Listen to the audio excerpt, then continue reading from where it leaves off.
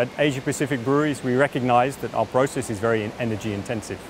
So we use a lot of water, we use a lot of uh, natural gas to, to, produce heat, and we use a lot of electricity.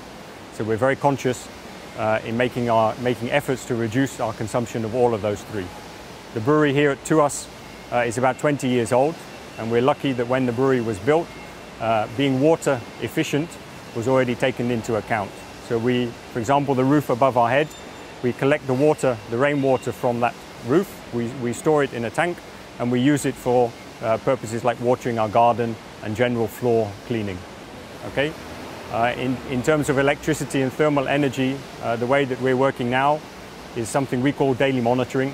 Uh, and it basically means that every single day we look at the energy consumption of the different parts of our process uh, and we act immediately on any deviations that we see from the norms that we have water is something that we monitor very, very closely and we monitor it uh, daily. Um, we are, we've been working on this for many years. It's not something that is new. Uh, so we have our water network uh, mapped out and we have a lot of water meters around the plant. So we can monitor very closely where water is being consumed in different areas of the plant. And if we see on a daily basis, if we see an abnormal or an abnormally high consumption of water, then we will act immediately uh, to, to tackle the problem, whatever it is. We've just been uh, working with the, uh, the National Environment Agency uh, and they've offered us a, a, grant as part of the GREET uh, program, which is a, uh, is a subsidy for investing in innovative energy reducing technology. So we're about to kick off a project which will recover heat energy from the vapor that comes from our brewing process. So we expect that to be uh, up and running in about six months' time.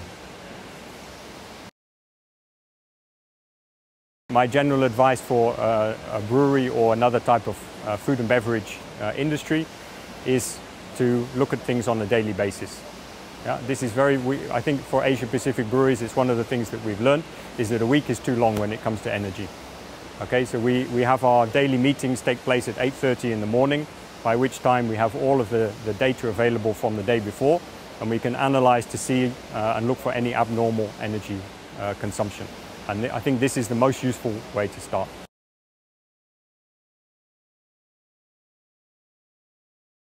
Monkey see, monkey like, monkey do. bananamana.com